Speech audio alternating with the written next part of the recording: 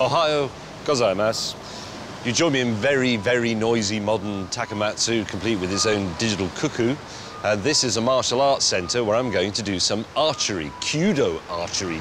It develops your character, is a form of meditation through action, a concept borrowed from Zen Buddhism. How these people ever found the time to develop the hybrid family saloon car is beyond me, to be honest. Anyway, let's find out.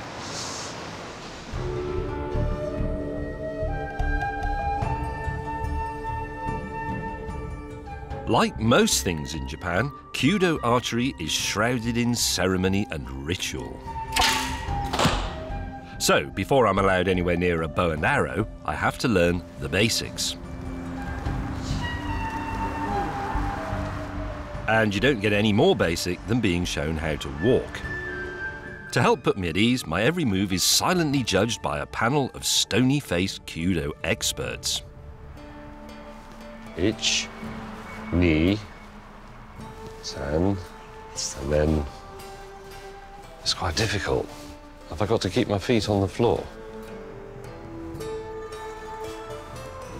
Four, no, mm, mm, there, mm, mm, mm. There's the flag of Japan, and then it's ich, ni, san, out. Good? No. It's a bit more complicated than it looks because there are three steps, turn right, stop, turn left, three steps, then some more steps, and then stop in the middle, and then you go over here, and your feet must never leave the floor, and you get to here, you must bow at the flag of Japan, but not too much, and then it must be three steps between here and leaving beyond the line, but not three and then one, and not two and then one beyond the line. And actually firing the arrow at the target is just a sort of small inconvenience in the middle of all this. After the catwalk comes the actual shooty bit.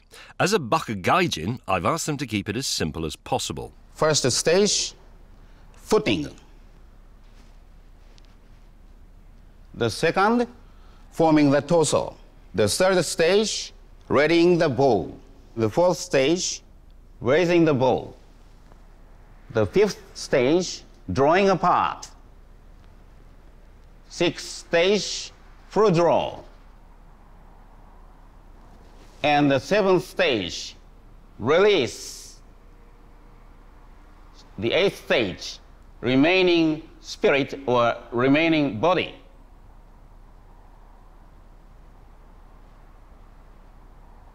That's all. Thank you.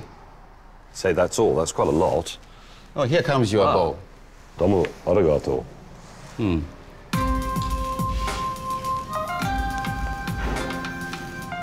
Okay, so three steps turn right, feet don't leave the floor. First stage, feet placement. Second stage, form torso. Third stage, raise bow. Fifth to eighth stages, draw apart, full draw release, and remain in body pose.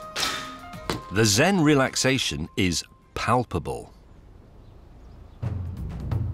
This could be my last chance to show that I can truly absorb the skills, cultures, and traditions of Japan, a symbol of all that I've learned to this point.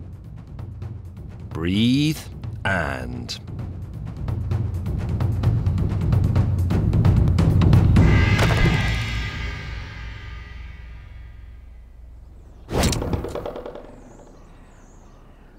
Out of 10? Hmm. Hmm.